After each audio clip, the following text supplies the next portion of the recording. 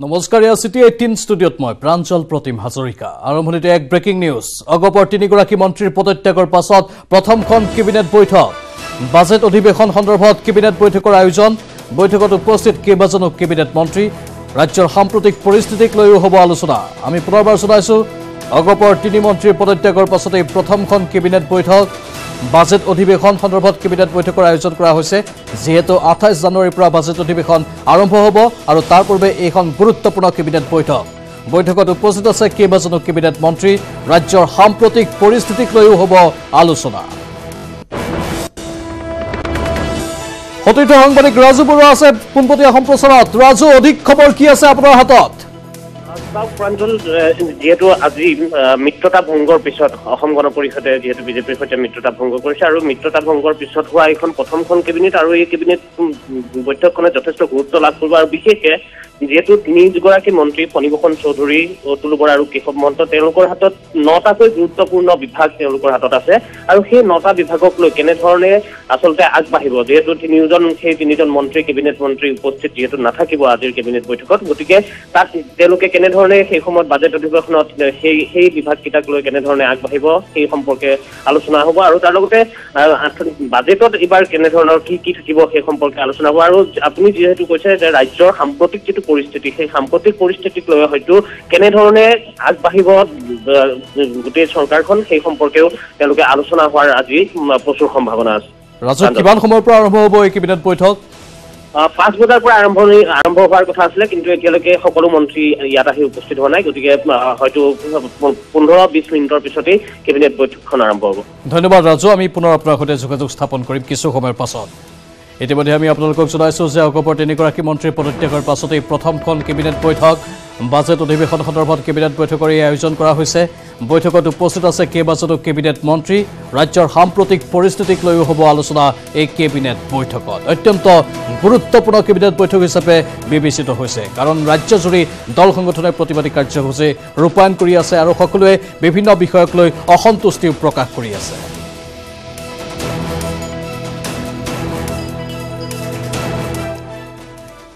পৰৱৰ্তী খবৰ। মহানগৰীৰ হোটেলত সংঘটিত জঘন্য বলাৎকাৰ কাণ্ডৰ নতুন মূৰ ধৰ্ষণৰ পাছত অপহৰণ কৰা হৈছিল ভুক্তভোগী যুৱতীগৰাকীক। ৰাজনৈতিক প্ৰভাৱ খটুৱাই অপহৰণ কৰিছিল যুৱতীগৰাকীক। এগৰাকী A I U D F নেত্ৰীৰ বিৰুদ্ধে উত্থাপন হৈছে এই বিস্ফোৰক অভিযোগ। প্ৰথমে ধৰ্ষণ তাৰ পিছত অপহৰণ। এ আই ডি এফৰ নেতৃত্বৰ বিৰুদ্ধে ভয়ংকৰ অভিযোগ। ৰাজনৈতিক প্ৰভাৱ খটুৱাই অপহৰণ ধৰ্ষিতাক।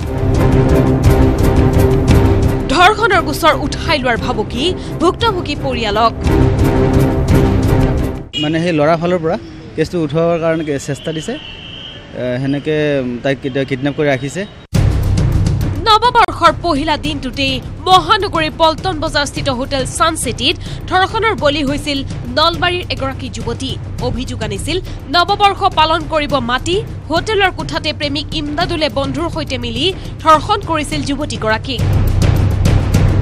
পল্টন বজাৰৰ হেৰি হোটেলত ধৰ্মখন কৰা বুলি পেলাই কৈছিল। আমাৰ ঘৰৰ ওচৰলৈ আহি ছোৱালীজনীক কিবাকৈ উঠাই লৈ গ'ল। প্ৰেমিক ইমদাদুলৰ এই নিকৃষ্ট কাণ্ড পোহৰলৈ অহাৰ পিছতে গ্ৰেপ্তাৰ হোৱাৰ ভয়ত গোচৰ উঠাই ল'বলৈ ভাবুকি দিছিল ভুক্তভোগী পৰিয়ালটোক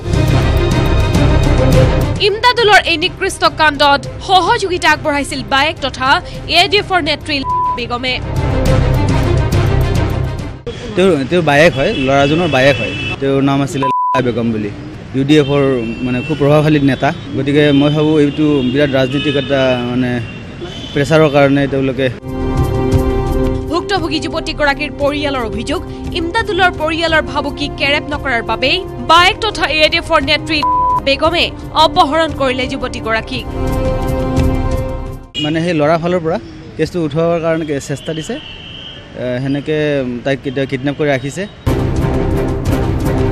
ৰাজনৈতিক প্ৰভাৱ খটুৱাই বেগমে যোৱা ওঠৰ জানুৱাৰীৰ বিয়লি বেহাৰবাৰীৰ পৰা অপহৰণ কৰে যুৱতীগৰাকীক।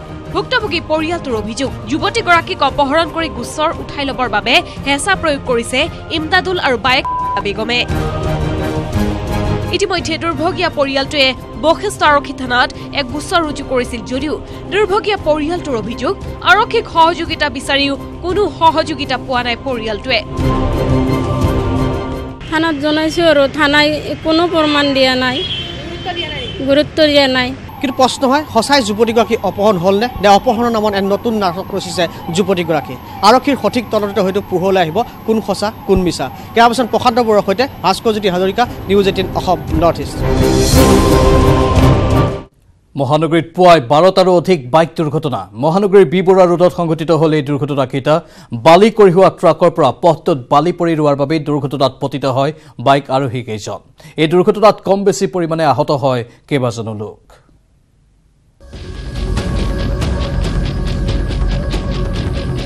মহানগৰীৰ ৰাজপথত মৰণ ফান্দ বি বৰুৱা ৰোডত বাৰটাতকৈ অধিক বাইক দুৰ্ঘটনা। কাণ সাৰ নাই P W D G M C আৰক্ষীৰ। প্ৰথমে এই দৃশ্য চাওক। এয়া গুৱাহাটী ক্লাবৰ পৰা উলুবাৰী সংলগ্ন বি বৰুৱা ৰোডৰ দৃশ্য। দৃশ্য দেখি নিশ্চয় আপোনাৰো বুজিবৰ বাকী নাই।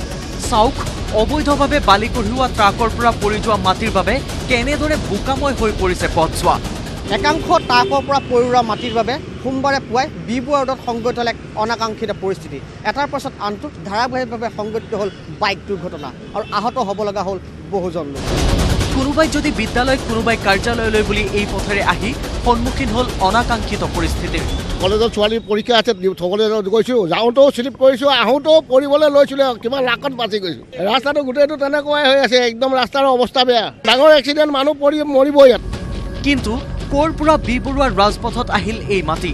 এই বোকাখিনি ক'ৰ পৰা আহিছে কোনে আনিছে পেলাইছে কোনেও নাজানে। মই শুনিছোঁ যে ট্ৰাকৰ ওপৰৰ পৰা পৰি গৈছে। গোটেই ৰাতিপুৱাৰ পৰা প্ৰায় পঞ্চাছ ষাঠিজন মানুহে পৰিছে। আন একাংশৰ অভিযোগ মাত্ৰ কেইটামান টকাৰ বিনিময়ত আৰক্ষীয়ে নিশা অবৈধভাৱে মাটি কঢ়িওৱা ট্ৰাক প্ৰৱেশ কৰিবলৈ দিয়াৰ ফলতে বি বৰুৱা ৰোডত সোমবাৰে পুৱাই সংঘটিত হ'ল অনাকাংক্ষিত পৰিস্থিতিৰ। দুৰ্ভোগ ভুগিবলগীয়া হ'ল সৰ্বসাধাৰণ ৰাইজে। কিন্তু ইয়াৰ পিছতো যেন কোনো ধৰণৰ বিশেষ ব্যৱস্থা গ্ৰহণৰ বাবে আগবাঢ়ি নাহিল বিয়াগুম G M C P W D কিম্বা আৰক্ষী। কেমেৰাত প্ৰশান্ত বৰুৱাৰ সহযোগত Bhaskar Jyoti Hazarika news eighteen Assam north east.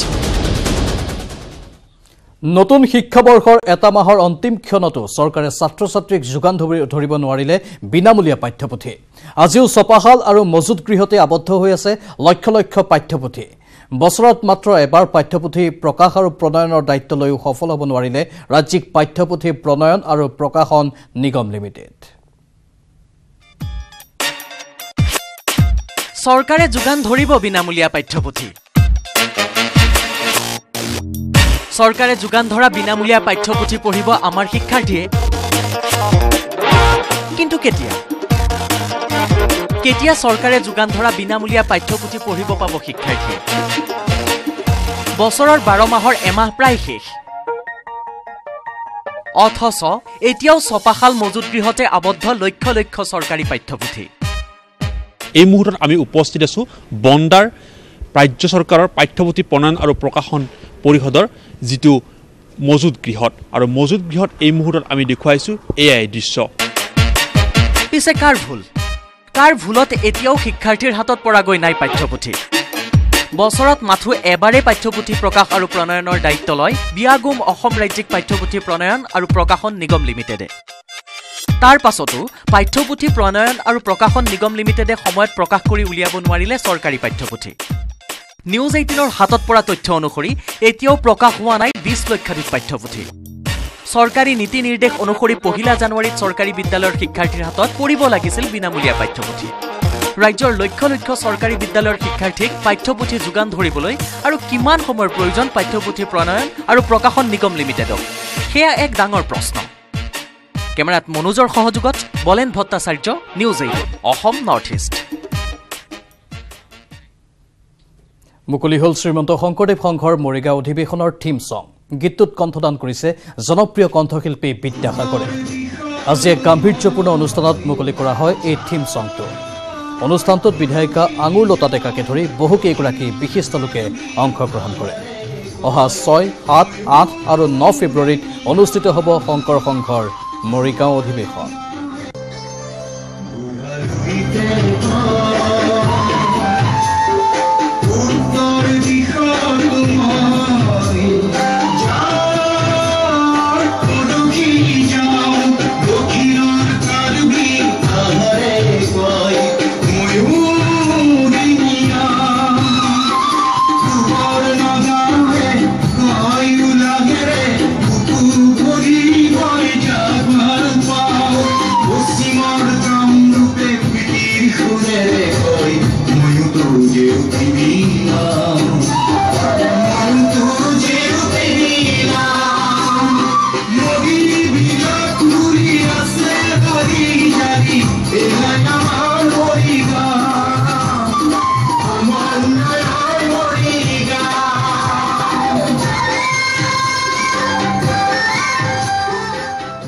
Srimanta Sankardev সংঘৰ বাৰ্ষিক অধিৱেশনলৈ আৰু মাত্ৰ কেইটামান দিন বাকী আছে আৰু সমগ্ৰ মৰিগাঁওবাসীৰ ৰাইজ উৎফুল্লিত হৈ আছে আনন্দিত হৈ আছে।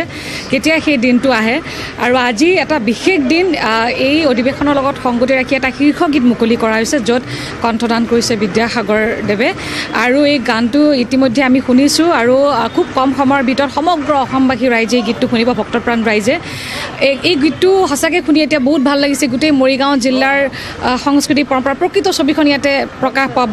মৰিগাঁও শ্ৰীমন্ত শংকৰদেৱ সংঘৰ মূলৰ অধিৱেশনৰ উপলক্ষে মৰিগাঁও ঐতিহ্যক সামৰি যি গীতটি ৰচনা কৰিছে কবি গীতিকাৰ দুবৰজী ৰাজখোৱাদেৱে আৰু মই যিমানখিনি পাৰিছোঁ অসমীয়া মানুহৰ আৱেগক চুই যাব পৰাকৈ সুৰেৰে সজাবলৈ চেষ্টা কৰিছোঁ কিমানখিনি গ্ৰহণযোগ্য হৈছে মই নাজানো। সংগীতেৰেও মই তেনেকৈ সজাব বিচাৰিছোঁ মই পাশ্চাত্য সংগীতৰ ইয়াত কোনো ধৰণৰ প্ৰভাৱ ৰখা নাই। অসমীয়া লোকসংগীতৰ বাদ্যযন্ত্ৰ ব্যৱহাৰ কৰিছোঁ।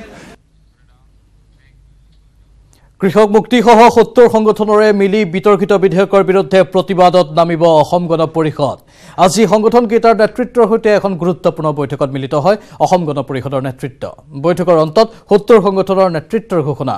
বিধেয়কৰ বিৰোধিতা কৰালৈকে অগপক সমৰ্থন জনাব এই সত্তৰটা সংগঠনে।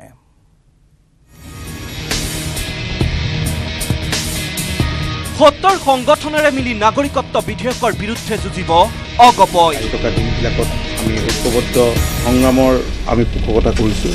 আছুৰ পিছত সত্তৰ সংগঠনেৰে আলোচনাত বহিল অগপ নেতৃত্ব।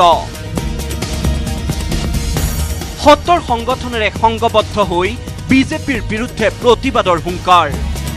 দেওবাৰে গুৱাহাটীৰ হোটেল নন্দনত নাগৰিকত্ব সংশোধনী বিধেয়কক লৈ সত্তৰ সংগঠনৰ নেতৃত্বৰে আলোচনাত মিলিত হ'ল অগপ নেতৃত্ব। বৈঠকত বিজেপিৰ খিলঞ্জীয়া বিৰোধী স্থিতিৰ বিৰুদ্ধে সংঘবদ্ধ হৈ তীব্ৰ আন্দোলন গঢ়ি তোলাৰ সিদ্ধান্ত। অসমৰ জনসাধাৰণৰ ব্যাপক প্ৰতিবাদ স্বত্বেও বিভিন্ন দল সংগঠনৰ প্ৰতিবাদ স্বত্বেও কেন্দ্ৰীয় চৰকাৰ এই বিলখন আইনত পৰিণত কৰিবলৈ বদ্ধপৰিকৰ। আজি খুব খোলোচাকৈ আমি আলোচনা কৰিছোঁ সত্তৰটা যি সংগঠন সংগঠনৰ নেতৃবৃন্দৰ সৈতে। এইটো প্ৰাৰম্ভিক আলোচনা আৰু আমি বুজাবুজিত উপনীত হৈছোঁ যে আমি এই সম্পৰ্কীয় যিবিলাক কাৰ্যসূচী লওঁ তেখেতসকলৰো সহযোগিতা থাকিব আৰু তেখেতসকলে লোৱা যি কাৰ্যসূচী তাত আমাৰো পূৰ্ণ সহযোগিতা থাকিব। বৈঠকত অংশগ্ৰহণ কৰি কৃষক নেতা অখিল গগৈৰ ঘোষণা বিধেয়কৰ বিৰোধিতা কৰালৈকে অগপক সমৰ্থন জনাব সত্তৰ সংগঠনে।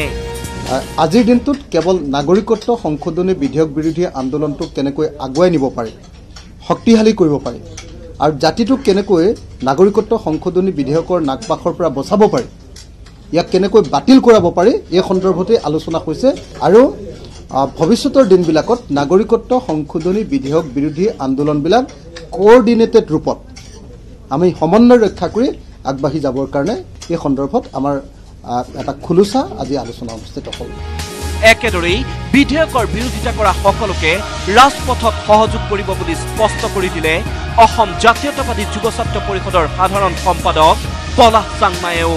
অসম গণ পৰিষদক ধন্যবাদ জ্ঞাপন কৰিছোঁ আৰু ৰাজপথৰ যিখন সংগ্ৰাম হ'ব সেই সংগ্ৰামখন নিশ্চিতভাৱে সত্তৰটা সংগঠনে তেখেতলোকক সহযোগিতা কৰিব।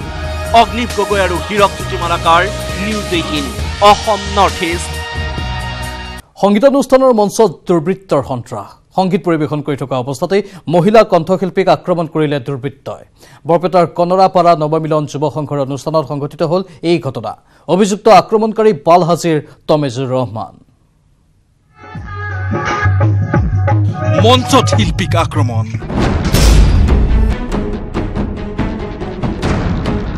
গীত পৰিৱেশন কৰি থকা মহিলা কণ্ঠশিল্পীৰ মুখত প্ৰচণ্ড খোচা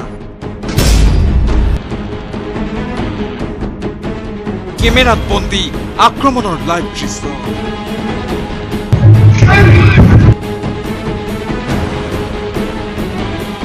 গীত গাই আছিলে এইগৰাকী শিল্পীয়ে বিলাচীপাৰাৰ অনাতাঁৰ আৰু দূৰদৰ্শন শিল্পী ককিলা চৰকাৰক বাৰ্ষিক অনুষ্ঠানত গীত গাবলৈ মাতি নিছিল বৰপেটাৰ কনৰাপাৰা নৱমিলন যুৱ সংঘই গীত গাই থাকোঁতেই মঞ্চৰ ওপৰলৈ উঠি আহিল এইটো আক্ৰমণকাৰী পাখণ্ড কোনো বাক্য ব্যয় নকৰি প্ৰচণ্ড ঘোচা উঠালে পাখণ্ডলৈ আৰু তাৰ পিছতে ঢলি পৰিল শিল্পী ককিলা চৰকাৰ। আক্ৰমণকাৰী পাখণ্ডটোক কোনোমতেহে প্ৰতিহত কৰিলে মঞ্চত থকা লোকে। যোৱা চৈধ্য জানুৱাৰীৰ ঘটনা এয়া। মোবাইলত শিল্পীক আক্ৰমণৰ দৃশ্য বন্দী হোৱাৰ পিছতেই ভাইৰেল হৈ পৰিছে দৃশ্যটো। ঘটনাৰ বাবে দুখ প্ৰকাশ কৰিছে নৱমিলন যুৱ সংঘৰ বিষয়ববীয়াই তেতিয়া কোনোবা এজন দুষ্কৃতিকাৰীয়ে আহি আমাৰ গায়িকা কুকিলা চৰকাৰ ডাঙৰীয়ানীক আঘাত কৰে আক্ৰমণ কৰে। এই ক্ষেত্ৰত এই আঘাত কৰা কাৰ্যক আমি কাৰ্যৰ কাৰণে আমি পালাজী কণাৰ পৰা নৱমিলন যুৱক সংঘই সমূহ অসমবাসী তথা কুকিলা চৰকাৰৰ ওচৰত ক্ষমা খুজিছোঁ। পিছে কোনে আৰু কিয় আক্ৰমণ কৰিছিল? মহিলা শিল্পীগৰাকীক। পাল হাজিৰ গোলাপ হুছেইনৰ পুত্ৰ তমেজুৰ ৰহমান। কিয় আক্ৰমণ কৰিছিল? সেই বিষয়ে ৰাজহুৱা কৰা নাই শিল্পী আৰু সংঘৰ বিষয়ববীয়াই। কিন্তু আক্ৰমণৰ পিছতে আক্ৰমণকাৰী তমেজুৰক ক্ষমা খুজিবলৈ বাধ্য কৰে উপস্থিতসকল লক্ষণীয়ভাৱে ঘটনা সন্দৰ্ভত দুখ প্ৰকাশ কৰিলেও গোচৰ দাখিল কৰা নাই আক্ৰমণকাৰী তমেজুৰৰ বিৰুদ্ধে। এইটো ক্লাব তৰফৰ পৰা অনুৰোধ জনাওঁ তেখেতে যিহেতু আমি তেখেতক মানে ৰাজহুৱাভাৱে তেখেত- তেখেতৰ ওচৰত ক্ষমা খুজিছোঁ দুষ্কৃতিকাৰীয়েও ক্ষমা খুজিছে।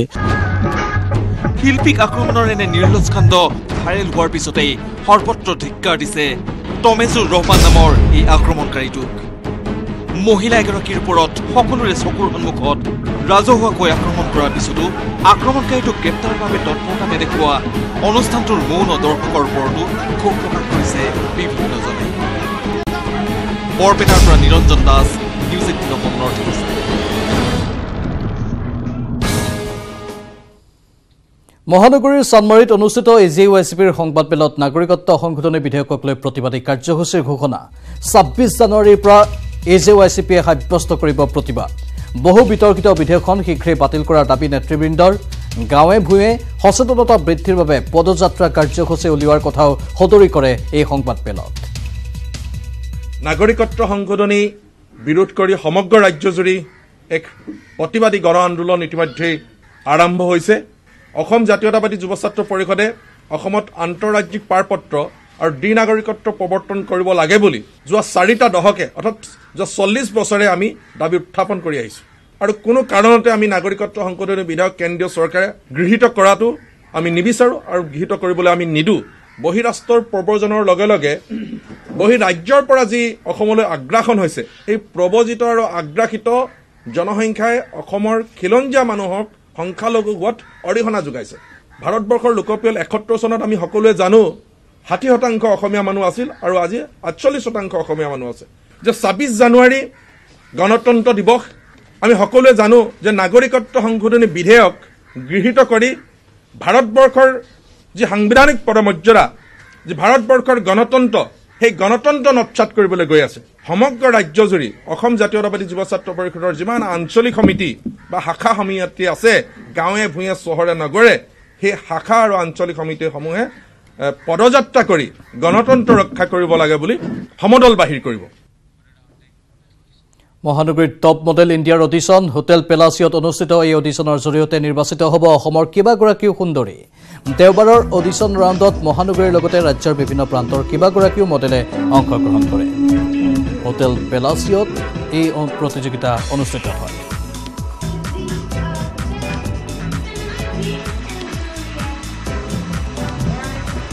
আৰু এই সন্দৰ্ভতে আমাৰ সাংবাদিক সুৰজিৎ শইকীয়াই এক ৰিপৰ্ট যুগুতাইছে আগবঢ়াইছে। টপ মডেল ইণ্ডিয়া ছিজন ফ'ৰৰ মেগা অডিশ্যন চলি আছে গুৱাহাটী মহানগৰীত। হোটেল পালাচিয়ত মই উপস্থিত আছোঁ য'ত আপোনালোকে দেখা পাই আছে। কেৱল মাত্ৰ গুৱাহাটী নহয় মহানগৰী দাঁতিকাষৰীয়া অঞ্চলৰ বিভিন্ন স্থানৰ পৰা আহিছে। যুৱ প্ৰজন্মৰ এইসকল প্ৰতিনিধি কিয়নো মডেলিং জগতত তেওঁলোকে প্ৰথমবাৰৰ বাবে খোজ দিবলৈ বিচাৰিছে। আৰু ইয়াৰে পৰা নিৰ্বাচন কৰা হ'ব কেইগৰাকীমান প্ৰতিযোগী আৰু কেইটামান দান দিন পিছত। গ্ৰীণউড ৰিজৰ্টত অনুষ্ঠিত হ'ব। এই যি প্ৰতিযোগিতাখনৰ গ্ৰেণ্ড ফিনালে অৰ্গেনাইজাৰ্ছ আছে আমাৰ লগত। যদি জানিব বিচাৰোঁ চন্দাস্মিতাক বিচাৰিছোঁ আগলৈ আগলৈ বিচাৰিছোঁ। ফেশ্বন জগতত বহুত কাম কৰি আছে সুন্দৰকৈ। সুনেনা আছে ৰমি আছে। চন্দাস্মিতা বহু বছৰ পৰা আপুনি কাম কৰি আছে। টপ মডেল ইণ্ডিয়াৰ বিষয়ে আপুনি অলপ যদি কৈ দিয়ে। It's a nationwide model hunt, and uh, the auditions uh, will be, you know, in all over the cities in India. And uh, from the regional castings, we'll be selecting 25 girls and 25 boys. And the finale will be held on the 16th of February at uh, Greenwood Resort. And uh, the winner will stand a chance to uh, represent India in top model worldwide. That's all. And then, you know, good to see. This is the first audition happening in Guwahati. And মাজৰ পৰা যদি কোনোবা বিজয়ী হয় তেনেহ'লে London যাবলৈ Yes, for chance free. পাব। For free.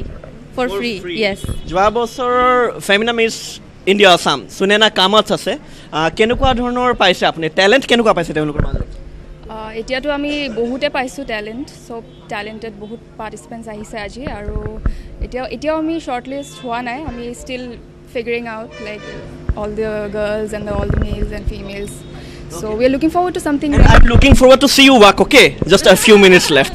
আৰু we have got some pretty ladies out here. কেইগৰাকীমান ধুনীয়া ধুনীয়া মডেলছ আছে আহ, মেঘা ৱাক কৰা হ'ল এতিয়ালৈ নাই এতিয়া আহি পাইছোঁ এতিয়া কৰিমহে অ'কে আপুনি এংকাৰ য়েছ মডেলছখিনিক দেখিছে নিজৰ ৱাক কৰিবলৈ মন যোৱা নাই জানো অবভিয়াছলি মোৰতো মিউজিকটো বাজিলেই নাচো নাচো লাগে ৱক কৰোঁ কৰোঁ লাগে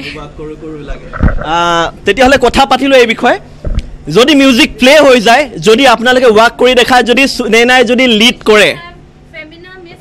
ফেমিনা মিছ ইণ্ডিয়া আছাম যদি আমি মিউজিক যদি পাওঁ সুনেনা কামাথে লিড কৰিব আৰু বেলেগ মডেলছখিনিয়ে যদি ৱাক কৰি দেখুৱায় আমাৰ দৰ্শকসকলক।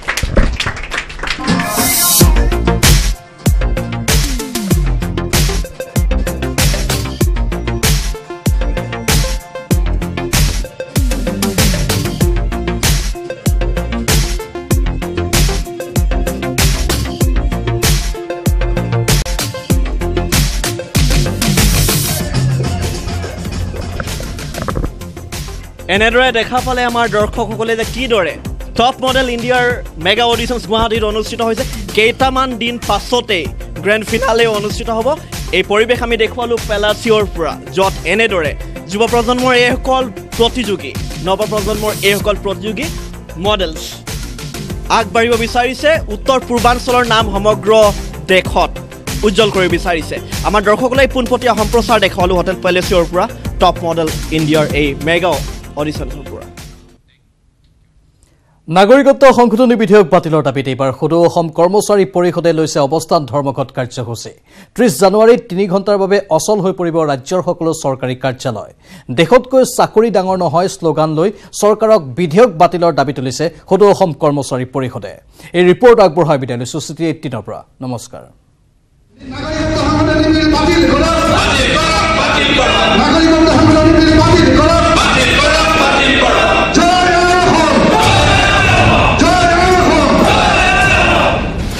দেশতকৈ চাকৰি ডাঙৰ নহয়। প্ৰথমে দেশ তাৰ পিছতহে চাকৰি।